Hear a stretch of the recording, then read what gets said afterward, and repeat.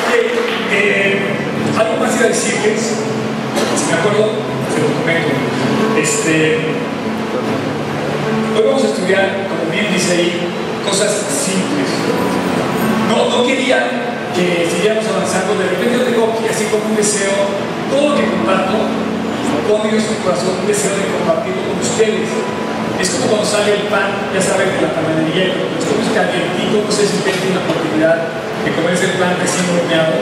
Es más rico, es más sabroso siempre que tenerlo dos o tres días después. Y bueno, yo había esperado y planeado todo lo que he estado comentando, como decía lo de Daniel, pero en este caso, en esto de las cosas simples, yo te lo quiero compartir porque pienso, soy, soy muy, eh, estoy convencido pues, de que hay pequeñas cosas que hacemos que nos apartan de las grandes cosas o pequeñas cosas que hacemos que nos traen grandes cosas. En otras palabras, eh, tenemos que conocer el poder de Dios que actúa en las pequeñas decisiones que tomamos en nuestro corazón. La Biblia es obvio, es obvia al mencionar los, digamos, personajes de la Biblia que todo lo que Dios hizo lo arrancó chiquito, es más, las grandes compañías del mundo nunca comenzaron, perdón, nunca comenzó como lo que es ahora. Quizá una de las, o sea, posiblemente esté en el primer lugar en cuanto a la, ya saben, la bolsa de valores internacional, no lo sé. Pero todas las grandes compañías empezaron en algún momento, en alguna casa, en, alguna, en algún corazón, en alguna mente. Mucho más los proyectos de Dios. Así es que yo quiero que conozcas el poder de Dios que actúa en las cosas simples. Al, pensar en esto, yo quiero decirte que, que muchas veces nos imaginamos que las grandes cosas, los grandes, los grandes eh, proyectos de nuestra vida, surgen de mentes así sobredotadas y no, no, no. Normalmente los héroes de la Biblia comenzaron de pequeñas personas comunes y corrientes como tú y como yo, que decidieron tomar su vida en las manos de Dios, ponerla en sus manos de Dios y de ahí Dios empezó a hacer héroes no solamente grandes personas, los héroes de la Biblia fueron personajes pequeñitos como David, que estaba, era el más chiquito de sus digamos, insignificante de, los hijos de Isaí, era el que menos aportaba aparentemente y de repente dice Dios, es ese el que yo quiero, un corazón como el de David. Y él se fijó en el corazón de la persona por las decisiones que tomaba David. David tomó, por ejemplo, la decisión de estudiar el arpa para cantar sal, para cantarle a Dios tomó la decisión de creerle a Dios. Y finalmente, en esa decisión que empezó en un eh, redil de ovejas, como pastor de ovejas, ¿ustedes han ido alguna vez a un lugar así? ¿Saben cómo huele esos lugares? A chivo, ¿no? O sea, huele, huele al león, o huele raro, huele feo, ¿no? Y sin embargo, ahí, en ese lugarcito, Dios preparó al rey de Israel al gran rey de Israel, lo preparó ahí en su redí con sus ovejas, aparentemente menospreciado por toda la sociedad o a un lado de todos los demás, y fue preparando grandes cosas. Hoy tengo el, gusto de presentarles una sorpresa de algo que pasó esta semana que me alentó mucho y además me alentó de un paisano nuestro, de los de Ensenada. Se han de sabido ya, ¿no? ¿No saben? Claro que sí. El de la Biblia, claro. A ver, ¿quién hay aquí de Ensenada? Levante orgullosamente la mano. Eso, bravo. Ahí no hace Ensenada. No, de Hermosillo no. Hermosillo no. No, también Hermosillo. Bienvenidos los de Hermosillo. Pero bueno, quiero que descubras el poder de Dios que se manifiesta cuando tomas pequeñas decisiones. Por ejemplo, llegar a tiempo. Estamos acostumbrados a llegar tarde. Esa es una cosa que tenemos que arreglar. Por ejemplo, pagar nuestras deudas. Es otra cosa que tenemos que arreglar. Pequeñas decisiones como no copiar en un examen aunque repruebes. Yo me acuerdo muy bien que un día reprobé, en, el ITAM yo reprobé dos veces. De plano una vez, de plano no pude estudiar, estaba mi examen, dije no voy a contestar nada. Y fue el primero a levantarme, me pusieron el examen encima de mi amigo que estaba al lado, cópiame. sentía que se me quemaba el, o sea, el escritorio. Y decidí levantarme, entregar mi, mi examen en blanco. Obviamente en el ITAM, tú sabes, repruebas y, perdón, no salió, pero este, tienes que volver a cursar la materia y si vuelves a cursar la materia la repruebas fuera del ITAM. Entonces, eh, eh, reprobé dos veces una materia y finalmente este, fue por no copiar. Una fue por no copiar. Y, y- orgullosamente te digo que, que Dios me bendijo muchísimo y aparte no cargué esa cosa. Pero hay, hay grandes eventos que Dios ha preparado para tu vida que están escondidos en las decisiones que tomas en el anonimato, en tu cabeza, en tu corazón, en tu cuarto, cuando piensas que todo es demasiado grande como para que, oye, no es que yo soy solo, ¿qué voy a hacer contra una sociedad corrupta? No, pues hay que caerle. No, empieza a hacer el cambio tú y vas a ver, vieron mi, bueno, los que vieron ya les había dicho lo del periódico, ¿no? De verdad, yo nunca me imaginé salir en el periódico, por eso y finalmente Dios me sacó en el periódico, ahí en mi, en mi chamba, pero empieza tú tomando la iniciativa de cambiar la historia. Este, bueno, y la Biblia nos habla de gente común y corriente que tomaron pequeñas decisiones que causaron un gran impacto. Yo quiero que, que vamos a hablar de esas gentes hoy. Con pequeñas decisiones, la gente dice, no, es que seguir a Cristo es dificilísimo. No, eso es ignorancia. Porque el que sigue a Cristo sabe que la gracia de Dios es mayor que la incapacidad y la ineficiencia y la escasez que uno puede tener. La gracia de Dios es más grande, es mucho más grande que cualquier cosa y te lleva a triunfar, a vencer. Entonces, pequeñas decisiones que tomes en la gracia de Dios, decidido, genuinas en tu corazón, te van a llevar a triunfar en la vida y a causar un profundo y gran impacto. Hoy vamos a hablar de eso. Eh, así es que todos deseamos grandes cosas. Muchas gracias, Tony. Ahorita vuelves. Ok. Gracias, Tony. Este, no saben, no saben este, lo, alien- el- lo alentado que me doy de, de- me, me da el hecho de estar compartiendo con mucha gente de G16 de otros lugares. Hay creyentes en todo el mundo, pero tenemos ciertos hermanos cercanos. También está Christoph. Christoph, ¿puedes ponerte de pie? De pie, de pie, Chan. Saluda a todos. Él, él también se va a regresar a París. ¿Estuviste, ¿estuviste contento? ¿Estuviste contento tu tiempo en México? Sí, increíble. Increíble, ¿verdad? Sí, ¿Vas a regresar pronto? sí. ¿Para el miércoles que viene. Ok. A, a París regresas el miércoles. Ok. ¿Y cuándo regresas a México? Eh, en abril próximo para esperar. Ok. En abril para su evento en el auditorio. Yo le dije, yo le dije algo que no aprendió todavía. No se aprendió en español. le digo que es como pata de perro.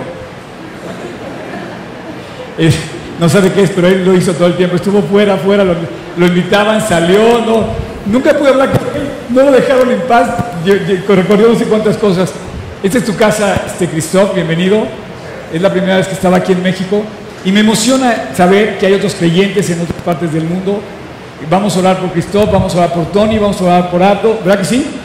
Entonces cuando recuerden que hay eh, creyentes, piensen en ellos.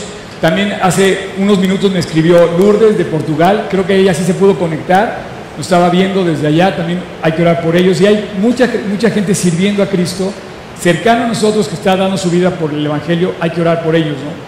Estas grandes historias que queremos hacer, por ejemplo, el una misión como, como esto, hablar de, comenzó en el corazón de alguien que quiso empezar simplemente a seguir a Cristo. Y son pequeñas acciones que nos llevan a grandes decisiones o pequeñas decisiones que nos llevan a lograr grandes acciones también. Son eh, propuestas de Dios que nos pone delante y que dice no es difícil lograrlo.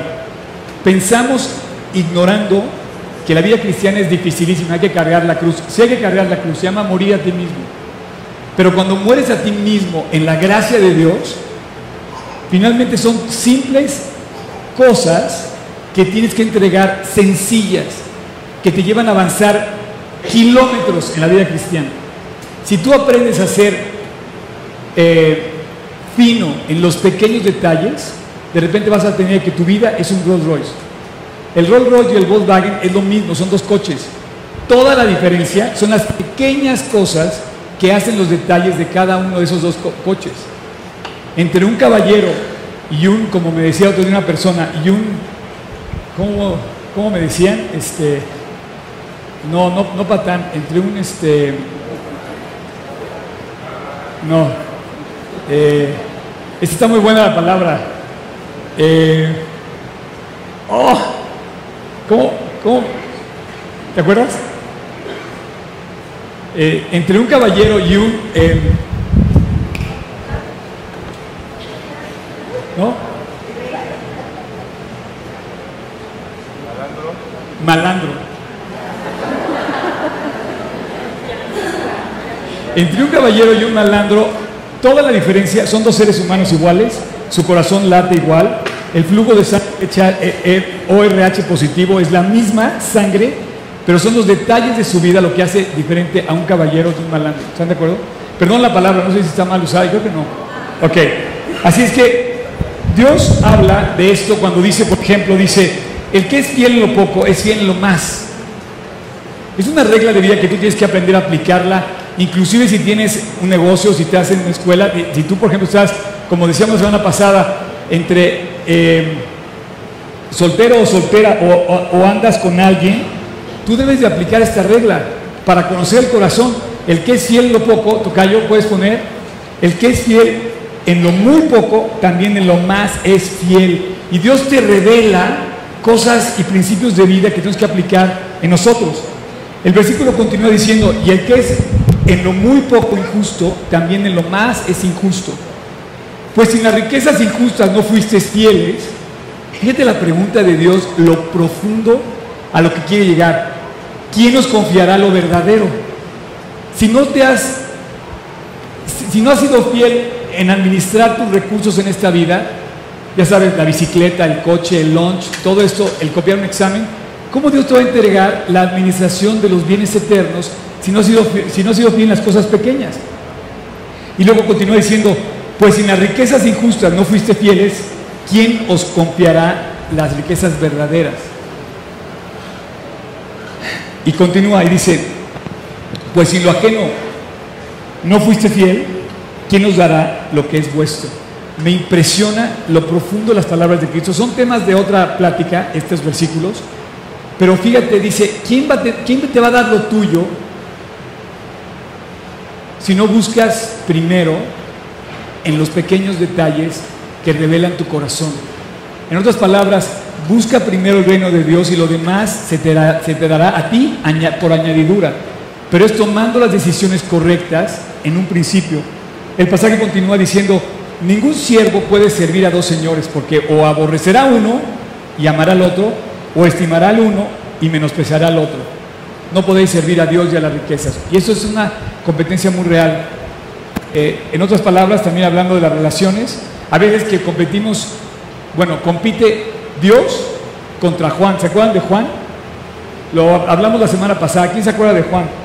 El que competía contra Dios. O sea, de repente es la chava que se enamora de Cristo y dice, no, viene de regreso del campamento, no, yo quiero ser sal de la tierra, quiero ser sal.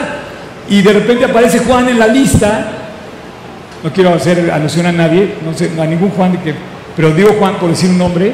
Este, y de repente aparece Juan y empieza a competir Juan con Dios. Y tú no puedes servir a, dos señores, porque o aborrecerás a uno y amarás al otro, o viceversa. Entonces, una persona no puede competir con el lugar de Dios. Al contrario, si tú estás bien amando a Dios, seguro vas a amar mucho más a Juan. Pero primero tienes que afianzarte en el corazón amando a Dios. Y termina el pasaje diciendo, el versículo 14 dice, y oían otra vez todas las cosas los fariseos que eran avaros y se burlaban de Cristo. Obviamente menospreciaban las cosas sencillas a las cuales Jesús estaba diciéndole, si eres fiel lo poco, no vas a ser, también vas a ser fiel lo mucho. Pero los fariseos que eran avaros decían, no, lo importante es el glamour, la riqueza, el bluff, ¿no? Y dice, dice Jesús, si eres fiel en lo poco, en las cosas pequeñas, ¿quieres poner el video, Tocayo, para que vean cómo escribo cosas pequeñas? Van a ver mi letra. Este, nada más para que vean. Cosas simples. Punto. Si tú eres fiel en las cosas simples de la vida, vas a descubrir un mundo completamente nuevo y extraordinario. Comienza a ser puntual, comienza a comer bien, comienza, ¿sabes la dieta que tenemos los, los, mexicanos? De toda la chatarra que comemos. O sea, yo digo que tomo agua y de repente dicen, no, ¿cómo tomas agua? Qué aburrido. Nada te refresca, nada ninguna bebida, ni el sidral, para que me entiendas, como el agua. El agua es el único, lugar, el, el agua es el único eh, líquido que surge de un manantial. Si quieres tomar un refresco que surge de una máquina química que genera, ok, pero yo prefiero beber de un manantial. Te lo recomiendo. Es esa es la bebida que por naturaleza Dios nos dio. Dice, oiga, ¿qué onda? ¿Quieres? No, o sea, tú tomas la decisión, pero hay cosas simples, como el agua, como el aire. ¿Te has dado cuenta que es gratis? Cada vez que respiras, es tan sencillo respirar que nos olvida que cada vez que respiramos, no sé cuántas veces inhalamos diario, el oxígeno fluye en, nuestro cuerpo y nos da vida. Pero si Dios quitara eso simple, nos morimos. Y luego la famosa, la famosa frase de Cristo, el que en versículo 19 de Lucas Tocayo, capítulo 19, 17 dice, bien hecho buen siervo y fiel, en cuanto, por cuanto ha sido poco en lo, por, cua- por cuanto en lo poco ha sido fiel, tendrás autoridad sobre 10 ciudades. Esta parábola de Lucas se parece a los talentos, pero no, dice que, un, dice que le refirió una parábola donde un rey, un rey, no hay nadie más alto que un rey, dice que salió y que llamó a 10 de sus siervos y les entregó una mina. Y cuando regresó de regreso, ya coronado, ya siendo rey, les llama a cuentas y le dice, a ver, ¿qué hiciste con la mina que te di? Y entonces el primero le dice, he ganado 10 más. Tú y yo podemos ganar eso en cuanto al reino de Dios. No solamente duplicarlo, no solamente triplicarlo, sino multiplicarlo con pequeñas acciones. Dice, yo me puse a trabajar y gané 10 más. Y Jesús le contesta, tendrás autoridad sobre 10 ciudades. Quiere decir que está cumpliendo lo que había dicho Cristo antes cuando dijo, el que es fiel en lo poco, también va a ser fiel en lo más. Tú y yo tenemos la necesidad urgente de que Dios gobierne su nación a través de personas fieles en lo poco, que sean capaces de llevar obras urbanas, obras rurales, obras de ingeniería a nivel nacional y que sean fiel para que esas cosas rindan lo que deben rendir, que la gente no robe, que la gente ame a México, que la gente estudie por México, que la gente dé su vida por México. Y si lo haces a tu, a tu entorno, que lo hagamos en nuestra casa igualmente, que estudiemos por el, honor de nuestro nombre, nuestro testimonio, en ese sentido. Si eres fiel en lo poco, en la mina que te dio Dios, vas a ser fiel al gobernar 10 ciudades. Después, en la parábola de los talentos, en el capítulo 25 de Mateo, dice, su Señor le dijo, bien hecho, buen siervo y fiel. ¿Sabes cómo se define la fidelidad? La fidelidad no se define cada vez que tú firmas un acta de matrimonio en un, ante un juez. La fidelidad se define en los pequeños detalles de cada día que en una relación tú eres fiel a la otra persona, no volteas a ver a quien no tienes que ver, eres fiel, mantenerte y todo, y, tu fidelidad se va a definir en la relación directa hacia la manera en la que tú te comportas y yo me comporto diariamente. Les quiero pedir un favor, la semana pasada una persona se acercó y me dijo, ¿por qué quieres que ore por ti? Y le dije, quiero que, pedirte que ores para que yo siga siendo fiel. Si tú quieres orar por mí, ora para que yo siga siendo fiel. Los pequeños detalles, el eh, desde, desde estrecharte una mano, desde contestarte un mail, desde contestar una llamada, desde levantarme, leer mi Biblia, en esas cosas te pido que ores por mí para que yo siga siendo fiel, en los pequeños detalles. Y entonces Dios me va a llevar a, su plan y esas grandes cosas que tiene preparada para mí van a comenzar de la fidelidad en tu vida y en mi, y en mi vida, en pequeñitos detalles. Y entonces, aquí la palabra de los talentos, pero la persona que no la hizo bien, ¿sabes qué le dice? Pero Señor, tuve miedo. ¿Qué puedo hacer yo contra un talento que me diste? No tengo nada, esto no sirve para nada. Entonces tú dices, oye, es que a, ti, Oscar, Dios te dio muchos talentos. Tú puedes hacer muchas cosas, pero yo, yo estoy, yo soy un novato en la vida cristiana, yo no, te- no tengo la posibilidad de hablar de Cristo, no sé cómo hablar. No. A veces pensamos, no puedo, no tengo, no me alcanza, ¿quién soy yo contra tanta gente? Nos vemos chiquitos, pero es ahí donde la, donde la historia comienza a cambiar. Eh, dice el, versículo, Pero Señor, es que tuve miedo. Tuve miedo y fui y escondí tu talento en la tierra y aquí te lo devuelvo. Jesús le contesta, siervo malo y negligente. Y finalmente habla de que esta persona, en el, en el versículo tocayo al final, en el versículo 25 del capítulo 25 de Mateo, dice que esta persona Dios la termina como condenando. Dice, quitarle el talento y dárselo al que tiene 10, porque al que tiene se le dará y al que no tiene se le será quitado. Mientras a uno Dios le sigue dando, al otro va perdiendo y mermando su vida cada vez.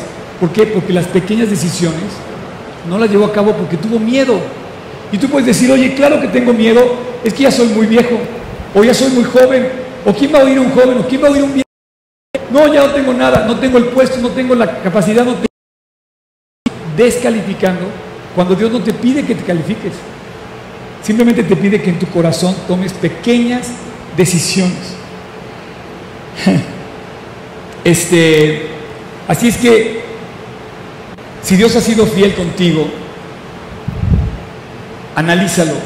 Todo surgió cuando tú afirmaste tu corazón en seguir a Jesús en los pequeños detalles.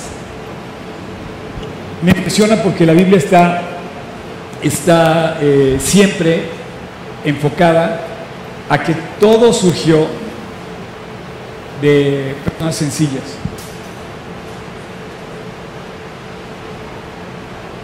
¿Quieres que platiquemos ya a fondo? Mira, vamos a preguntarle a la semilla de mostaza. La semilla de mostaza, no sé quién ha visto una vez una semilla de mostaza, alguna vez una semilla de mostaza. ¿Alguien ha visto una semilla de mostaza? ¡Wow! Yo la acabo de ver hace poquito. Nunca había visto en 56, 54 años, nunca había visto una semilla. Es una cosita más chiquita que una, que un, que un ajonjolí. Y dice, será, dice, como el grano de mostaza que cuando se siembra en la tierra, es la más pequeña de todas las semillas que hay en la tierra. Se siembra esa cosita y de repente crece un árbol. Dice, y después de sembrado crece y se hace la mayor de todas las hortalizas y echa grandes ramas, de tal manera que las aves del cielo pueden venir a morar bajo su sombra. La semilla de mostaza, que, parece insignificante, esa cosita que, que es insignificante, de repente se vuelve un emporio de bendición dice que mora bajo sus alas las aves del cielo. Es como esos mosquitos, ¿no? Hay uno que está de moda ahorita en México. ¿Cómo se llama? Chingunguña o cómo se llama? Eso, esa cosita que te siembra de pequeño, así, esa pequeño veneno, ¿cuánto daño hace? Imagínate el potencial que tiene Dios de tus pequeñas decisiones para hacer mucho bien. Otra persona con que quiero que platiquemos esta mañana, nuestra primera plática fue con la señora de mostaza, la segunda con Abraham. Abraham, wow, Abraham está increíble. Abraham era un, personaje, fíjate bien, nuestro padre Abraham, hay, una canción de niños que nunca se me olvida, la de nuestro padre Abraham. ¿Te sabes la canción de nuestro padre Abraham? No, ¿verdad? No te la sabes, ¿verdad? Hay que, te la voy, hay que, hay que aprenderla, tienes que enseñarle la canción de nuestro padre Abraham. Nuestro padre Abraham dice que tiene muchos hijos, ¿no? Muchos hijos nuestro padre Abraham, Bueno, ¿sabes cuántos hijos tuvo Abraham? Ya no los podemos contar. Son incontables. Es más, los musulmanes son, son descendientes de Abraham. Los judíos son descendientes de Abraham. Y nosotros, como cristianos, somos descendientes de Abraham. Ya no se puede contar. De la multitud, de los 7 mil millones o más 7 mil millones que viven en la tierra, son incontables. Y todo empezó por un hombre ¿Quieres poner el versículo 16 del capítulo 4 de Romanos? Que dice, por tanto, es por fe, para que sea por gracia, esa es toda la clave cristiana, Dios lo hace, no tú ni yo. Dice, a fin de que la promesa sea firme para toda la descendencia de Abraham, estamos hablando de Abraham, no solamente para la que es de la ley, la ley de Moisés, la ley de judía, sino también nos incluye a ti y a mí, los que somos de la fe de Abraham, el cual es Padre de todos nosotros. Cristo en la, en la eh, digamos, en este nuevo pacto que hace con el mundo judío cuando llega, porque Él llega como judío, Sin embargo, hace un nuevo pacto. E incluye a todos los que íbamos a creer en Él. Una vez que Él muere, nos incluye en el nuevo pacto de salvación y de redención que nos otorga en la cruz. Y dice que todos los que creemos en Él, también indirectamente recibimos la misma bendición del pueblo judío descendiente de Abraham. Otro, otro pequeño personaje de la Biblia que se volvió un gran personaje de la Biblia, este hombre era tartamudo, este hombre era, inclusive tenía un pésimo testimonio, huyó de su responsabilidad, se llamaba Moisés. Y Moisés con su vara, de repente, Dios lo, bueno, Dios tiene miles de historias con Moisés, pero una, la de la vara se me hace ridículo. Imagínate que Dios te dice, vas a ir a hablar con el presidente. ¿Y qué vas a llevar? Ah, pues vas a llevar una vara. Se va a reír de mí me va a mandar fusilar. O sea, ¿yo cómo le voy a hablar al rey con su majestad de oro al, faraón? Y voy a sacar una vara menospreciable, insignificante. Dice, yo a través de esa vara voy a hacer grandes cosas contigo. Y yo ya, ya te puedes imaginar cuando extendió, versículo 21, dice, extendió Moisés su mano sobre el mar. En una ocasión pudo estar posiblemente donde estuvo Moisés. Y alcanzas a ver el mar rojo y dices, qué locura para cruzar eso.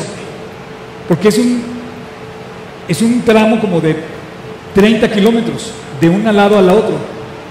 Imagínate tú la escena donde dice que extiende su vara, levanta su vara y dice, e hizo Dios que el mar se retirase por un recio viento oriental durante toda la noche y volvió el mar en seco y las aguas quedaron divididas. Nunca más el mar rojo ha estado seco más que en ese momento en que la vara de Moisés se levantó en el nombre de Cristo, en el nombre de Dios, y Dios dividió el mar y, pudo pasar. Imagínate la escena.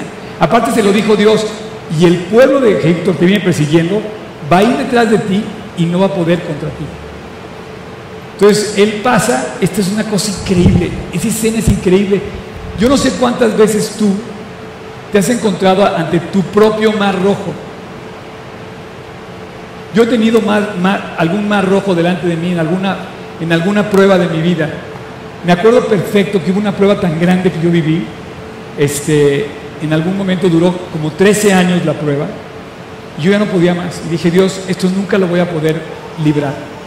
Estoy condenado a sufrir por este error que cometí. Y no cesé de levantar mi vara y como decíamos la canción tocando con Tony, inclinar mis pies y tocar el cielo, dice cuando caigo a los pies de Cristo. No, no cesé de orar, no cesé de buscar a Dios y de repente un buen día me di cuenta que ya estaba del otro lado del mar. Y dije, Dios, crucé el mar rojo. No sé cómo lo hice.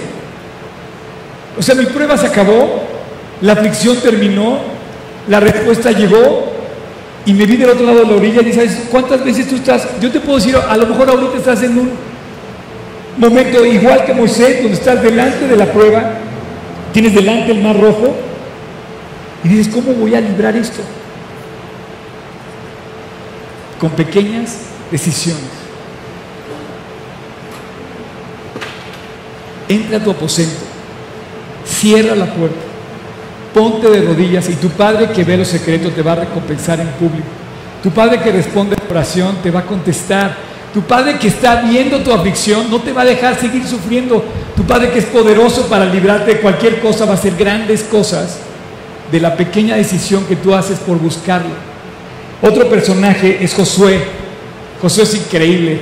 Podría hablar también miles de historias de Josué, pero por ejemplo me impresiona una cuando dice que solamente dice, pon nada más tus pies dentro del río Jordán. El río Jordán es diferente al Mar Rojo, es, es, muy pequeño. Yo creo que hay alguna parte donde el río Jordán podía tener el ancho de esta casa. Eh, eh, es hasta divertido nadarlo, porque es chiquito, no es un río acaudalado, no lleva corrientes grandes de agua, desembocan todas al mar, al, mar eh, muerto. Pero no era cosa que cruzaran nadando el pueblo de Israel, era cosa que tenían que cargar el arca. Y el arca no podía eh, contaminarse, no podía caerse, no podía mojarse, tenía que tener un, trato especial para el arca. Y entonces Dios ve al pueblo de Israel y le dice, santificados porque mañana Dios hará maravillas con vosotros. Y al siguiente, si tú lo continúas ver, continúas leyendo, de repente ves que tan solo, tan pronto como pisaron el agua, de repente Dios detuvo el caudal del río y pasó el arca y todo el pueblo hacia la libertad, hacia la tierra prometida. Y dices, Dios, esa es mi vida también. Si yo te creo, pero tuvieron que haber confiado en que iban a poner el, pie sobre el agua. Era la orden. Otra que se me impresiona también es esta de los, de los, este, de el famoso Jonás. Jonás, puedes poner la, Jonás predicó en la ciudad de Nínive, es la ciudad mala que ha pisado la tierra. ¿Y sabes cómo convirtió a la ciudad más mala de todas? Con esas ocho palabras, fue todo su mensaje. El mensaje de Jonás convirtió a toda la ciudad en un momento así, en un instante, los hizo bus- buscar a Dios a todos en la ciudad, cuando les dijo, de aquí a 40 días Nínive va a ser destruida. Por eso vamos a empezar a estudiar la profecía, porque vienen tiempos angustiosos. Y bueno, no te espantes, simplemente es lo que la Biblia dice. Más bien asegúrate, como Jonás, de ir a, de ir a Cristo. Y la penúltima historia que te quiero contar es la famosa de ese chiquito. Imagínate un niño, no sé, ¿cuántos años tiene tu, hijo? ¿Cuántos? Tres años. Yo creo que era un poquito más grande. Y llegó este, puedes poner el versículo tocayo, dice que, que llegó un muchacho, y dice, aquí tiene este muchacho cinco panes de cebada y dos panecillos, pero ¿qué es esto para tantos? Nadie, entre los más de cinco mil personas que estaban siguiendo a Cristo ese día, nadie se imaginó que un niño iba a llevar la provisión de todos los que iban a comer ese día, que fueron más de cinco mil. Todos se impactaron por el, por el milagro de los cinco mil que comieron, pero la Biblia enfoca que un niño, un jovencito, llevaba cinco panes y dos peces y Dios le dio de comer a toda la multitud. No menosprecies, dice la Biblia, el día de las pequeñeces. No tienes, Dios sí tiene. No puedes, Dios sí puede. No te alcanza, a Dios sí le alcanza. Eres muy viejo, no importa para Dios. Eres muy joven, tampoco importa para Dios. Y la última historia, te la quiero contar, eh, no es la de Jonás, no es la de Josué, no es la de Moisés, no es la de Abraham, es la de un cuate que se llama Tito Quirós, que hace ocho días jamás imaginó que lo que hizo hoy, el video que le voy a pasar ya tiene casi 50 mil reproducciones en menos de tres días. Vamos a ver el primer video. Le voy a presentar a Tito Quirós, ¿ok? Tito Quiroz Angulo, hijo de misioneros, se enamoró de la música desde los 7 años y empezó a tomar clases en un orfanatorio de Vicente Guerrero, en donde sus padres prestaban servicio. Atraído por las coplas del tema de la cucaracha, interpretado con un violín por la misionera Nancy Benning. Y fue cuando busqué a mi maestra Nancy Benning, que por eso se llama esta institución Benning, y le pedí que me diera clases, pero me dijo que estaba muy joven, tenía 7 años, y ella aceptaba hasta los 10 años. Entonces yo empecé a llorar, ella me abrazó y me dijo, sabes que tú vas a ser el primero que te voy a dar clases. Y ahí empezó todo. Hace seis años Tito boleaba zapatos, colocaba pisos y lavaba carros para sobrevivir. Hoy a sus 28 años es director de la Academia de Música Instituto Benning, la cual empezó en una cochera, reconocido con el Premio Nacional de la Juventud por enseñar clases de música a jóvenes relacionados con la violencia y actos delictivos del Centro de Diagnóstico para Adolescentes de Ensenada. Entonces estos muchachos, al hablarles de Dios, a tener la música, fueron cambiando totalmente. La, la cárcel, cuando nosotros llegamos, había más, yo creo que había más de, de 100 jóvenes ahí. Empecé un curso de un mes, los muchachos se enamoraron de la música, me pidieron que regresara, empezamos la orquesta. Con su proyecto Jóvenes en Ritmo participó en la convocatoria del Premio Nacional de la Juventud, resultando seleccionado de entre 25 mil aspirantes, recibiendo una medalla de oro, 150 mil pesos y un diploma firmado por el presidente. Sin embargo, Tito, acostumbrado por su religión a llevar regalos a los anfitriones, decidió mandar imprimir una Biblia con el nombre del presidente grabado a la ceremonia de premiación, con la idea de regalársela. Mencionó que el libro sagrado pasó por todos los controles de seguridad del Estado Mayor Presidencial. Me dicen que, bueno, ¿y tú quién eres? Este, me dicen, no, pues soy galardonado. ¿Y qué llevas ahí? Lo llevo mis proyectos y, la Biblia, no, pues no pueden pasar. ¿Eres cristiano o qué? Yo le digo, sí, soy cristiano, amo a Cristo y creo que la Biblia es algo que me da fortaleza. Y me dice, ah, yo también, está bien, te voy a dejar pasar la Biblia es, siempre todo está muy resguardado, todo siempre una, una protección increíble, pero en cuanto me dio la mano, no se la solté, le entregué la Biblia, le dije, señor presidente, le dije, este libro me enseñó a amar y servir sin importar la crítica. El escenario, la gente, el momento, la Biblia y las palabras de Tito quebraron al presidente. Se le salió la lágrima, se, este, pude ver que, que realmente lo tocó. Y, después en, en esa misma dijo, esta fotografía no es la mejor para este grupo de jóvenes. Los vamos a llevar allá a mi oficina. Entonces nos da un tour que a nadie le da. De hecho nos pasa por las escaleras en donde nadie pasa más que otros otros este, presidentes que vienen a México. Tito, ¿por qué me diste una Biblia? Primero le dije, sí, señor presidente, es una Biblia. Y luego me dice, ¿por qué me diste una Biblia? Y le, le agarro al hombre y le digo, porque hay gracia para usted también. Tú irradias una energía así increíble, muy positiva. ¿Qué pasaría si llega una persona y te dice que eres un arrastrado? ¿Qué pasaría si llega alguien y me hace un comentario malo? Eh, realmente lo mismo que hice con el presidente, si le pudiera regalar una Biblia, se la regalaría, si pudiera orar por él, oraría por él. Mi reacción ante un presidente que es tan controversial fue amarle, fue servirle, no fue por arrastrado. Nunca le he pedido nada y este premio lo ganamos por el esfuerzo de los ensenadenses, no fue y me duele, me duele mucho que que la crítica porque nunca fue la intención. Con imágenes de Jerry González informó para Síntesis Francisco La Chica. Más el día del Por eso no regresan.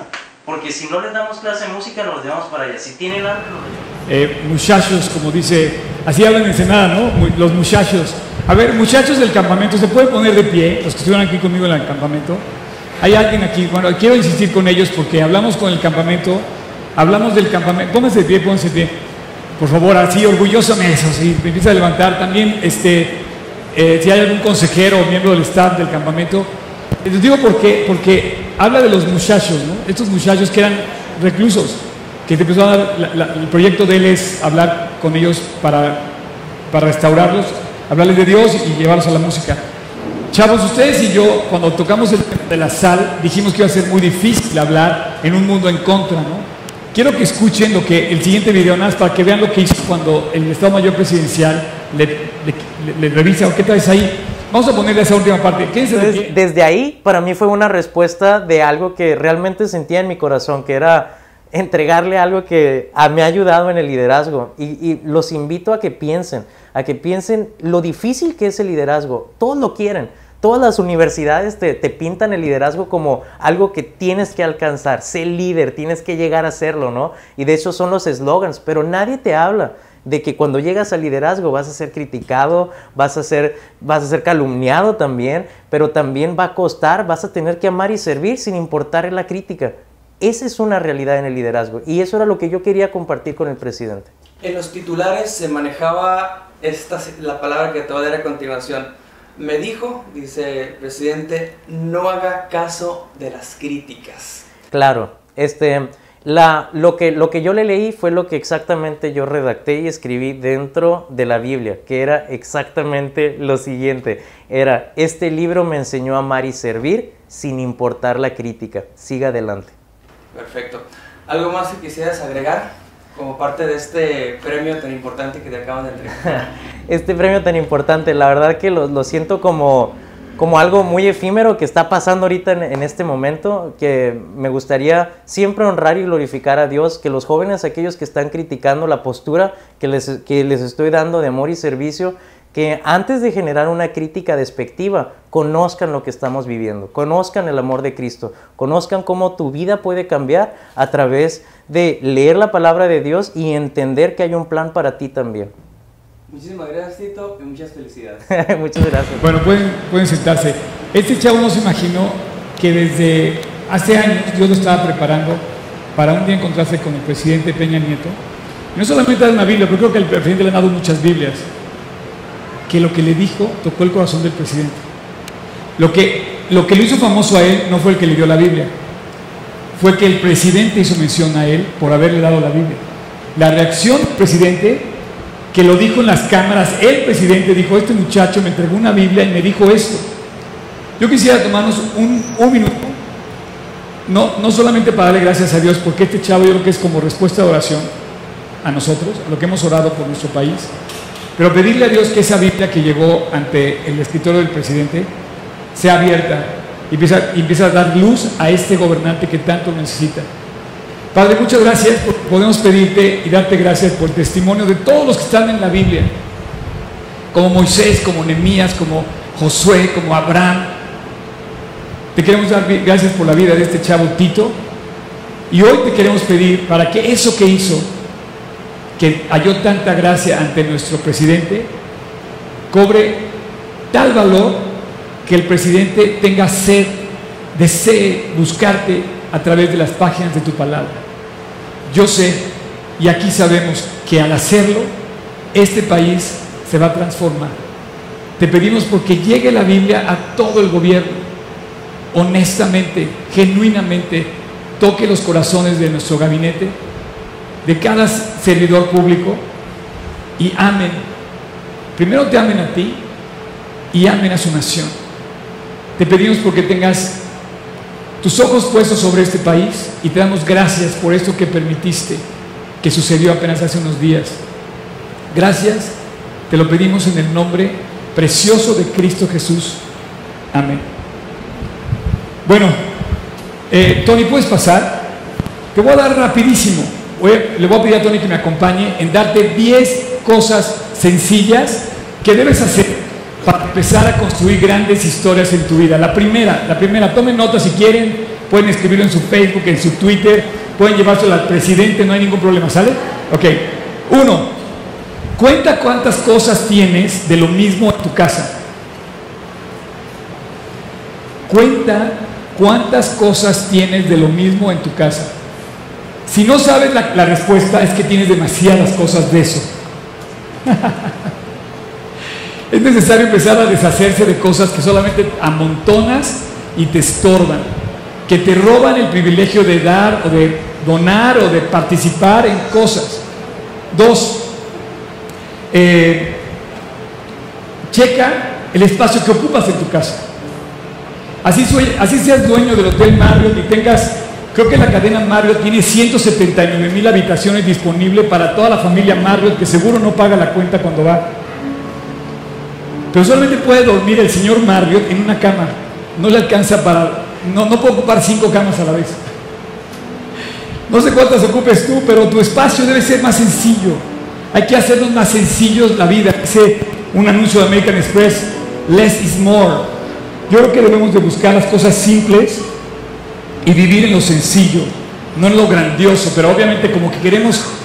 ¿Cuántas habitaciones tiene el Palacio del Louvre? Creo que 1700 habitaciones. Bueno, el rey solamente podía dormir en una.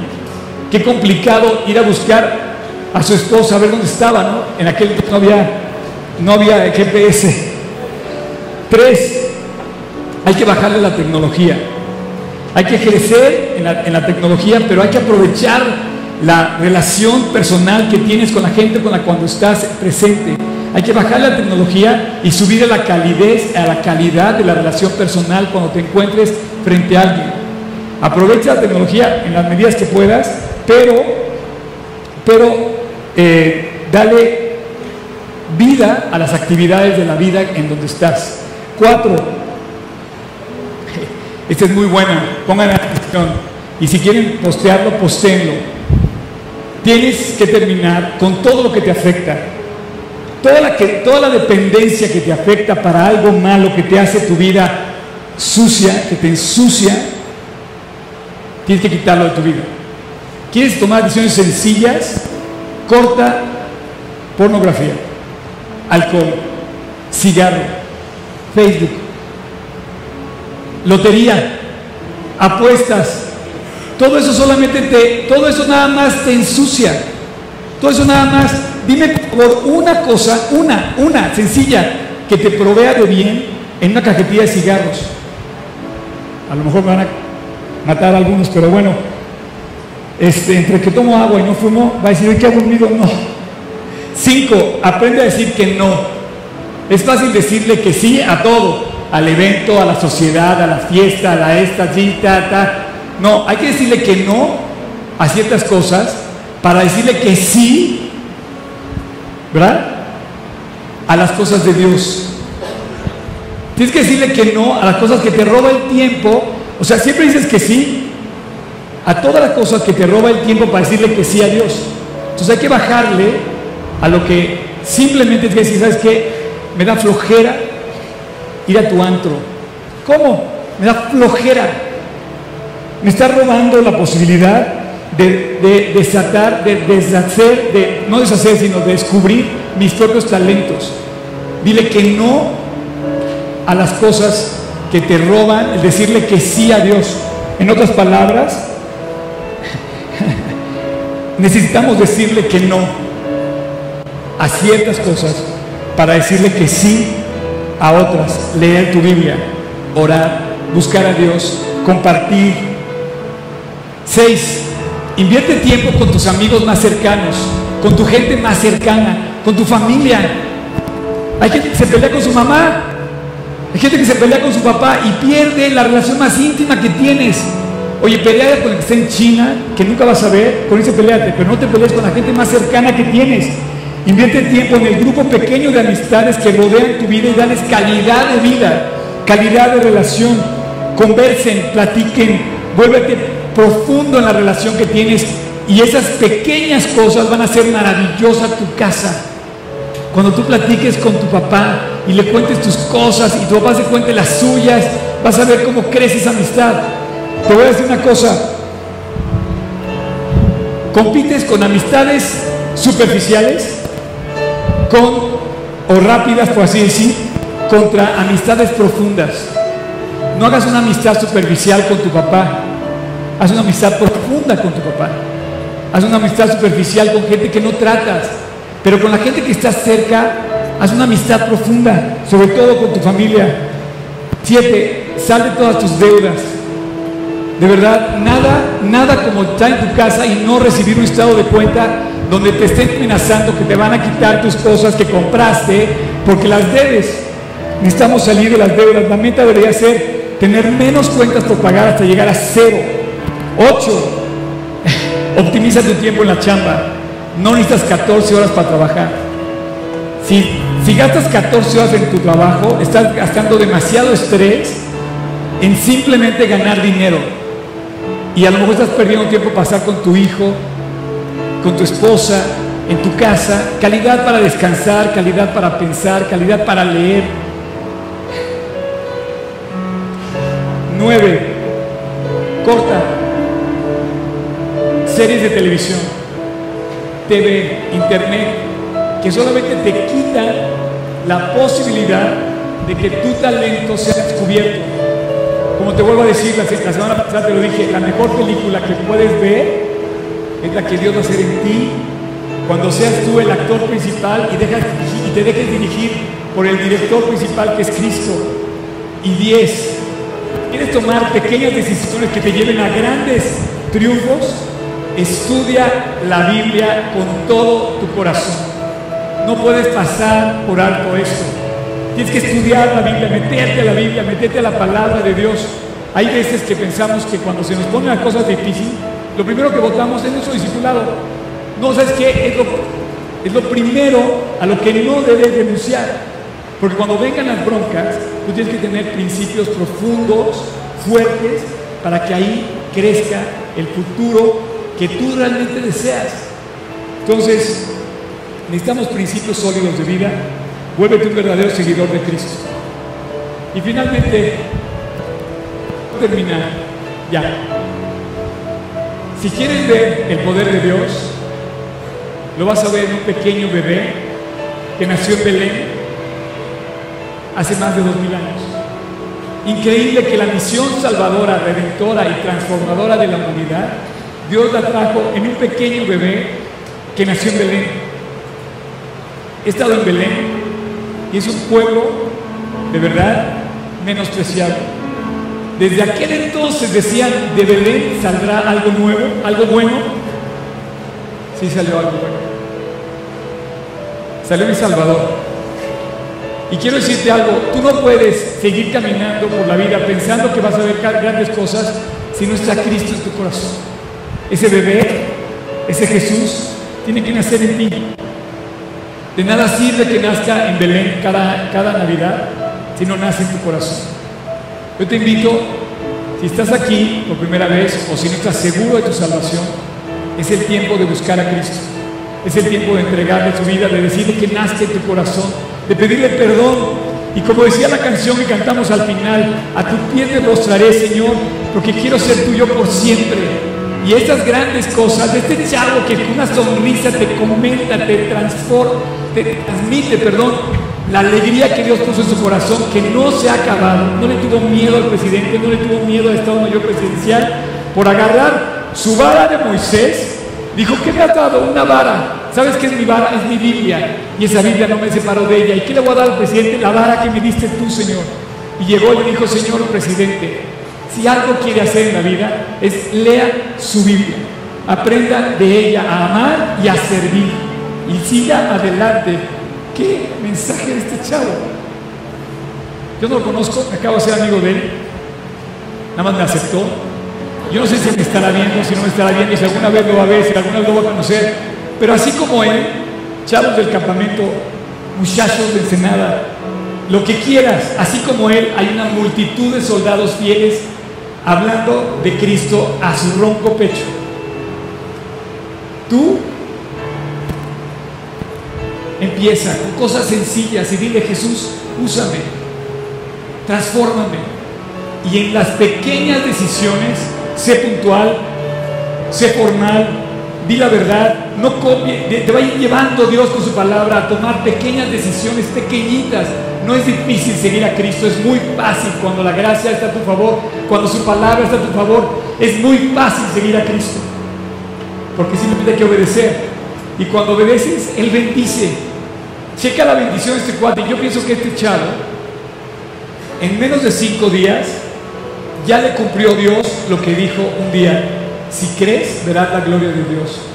Cuando él dice que trapeaba pisos, lavaba coches, boleaba zapatos, yo creo que también decía, un día voy a ver la gloria de Dios. 178 millones de pesos vale el proyecto que llevaba al, presidente. Y el Estado Mayor Presidencial le dijo, no puedes pasar por eso. Entonces dijo, ¿puedo pasar con mi Biblia? Ok, pasa con la Biblia. Y dejó 278 millones y agarró lo que vale todos los proyectos del mundo. Y agarró y dijo, señor presidente, aquí está lo que cambió mi vida. Ojalá que aquí todos tengamos el valor de tomar pequeñas decisiones desde ahorita para el día que estés delante del rey y tengas la capacidad de decirle, a tus pies me postraré, Señor porque un día quizás no estemos delante del presidente de la República. Pero te voy a decir que un día sí vas a estar delante del Rey de Reyes. Entonces más vale que hagas cuentas desde ahorita, porque un día te vas a tener que postrar delante de Dios. Lo vas a ver como Salvador o como juez. Hoy, si quieres, te invito a que te acerques a Dios como Salvador, como Redentor y si no tienes la seguridad de haber entregado tu vida a Jesús, se le entregues. Cierra tus ojos, ahí donde estás, en silencio. Yo voy a hacer una oración en voz alta y tú si quieres hazla en voz baja. Si tú quieres entregar tu vida a Cristo, si tú quieres tomar una pequeña decisión donde Dios conquiste Tu corazón, si tú quieres eso, vas a recibir la más grande herencia, que se llama el perdón de Cristo y la vida eterna. Si lo quieres, hoy es el día. Ahí en tu corazón repite conmigo, Señor Jesús, te necesito. Entra en mi corazón. Estoy vacío sin ti o estoy vacía sin ti. Señor, ven a mi vida. Te invito a mi corazón. Lléname de vida, lléname de perdón, lléname de tu espíritu, de tu presencia. Hoy te pido perdón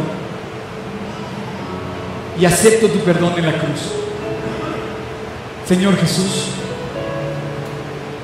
quiero ser una nueva persona. Quiero caminar contigo. Quiero disfrutar de tu compañía. Y quiero seguirte. Señor Jesús, entra en mi corazón. Hoy te invito a mi vida. Quédate ahí desde ahora hasta la eternidad. Te lo pido en tu precioso nombre, Jesús. Amén. Y bueno, señores y señoras, muchachos y muchachas, como dicen en Ensenada, saben que mi familia es Ensenada, ¿no? Entonces me dio mucho gusto conocer este chavo que viene de allá. Ciertamente los pueblos están como abandonados, las ciudades fuera de la ciudad están como abandonadas. Y qué curioso que Dios así como que hace grandes historias con pequeñas decisiones que van tomando las personas. Si quieres, si creyeres, si pusieras tus manos en la vida de, en, manos de Cristo, si tuvieras tu vida, si pusieras tu vida en la vida de Cristo, conocerás el bien de la tierra y sabrás la diferencia entre el que sigue a Dios y el que no le sigue. Conocerás la diferencia entre el que busca a Dios y el que no le busca. Espero que te des cuenta lo sencillo que es seguirlo y lo difícil que es ignorarlo. Si hoy aceptaste a Cristo en tu corazón, tu vida va a cambiar. Y si hoy decides obedecer en las pequeñas cosas, tu vida se va a llenar de cosas increíbles. Dios los bendiga.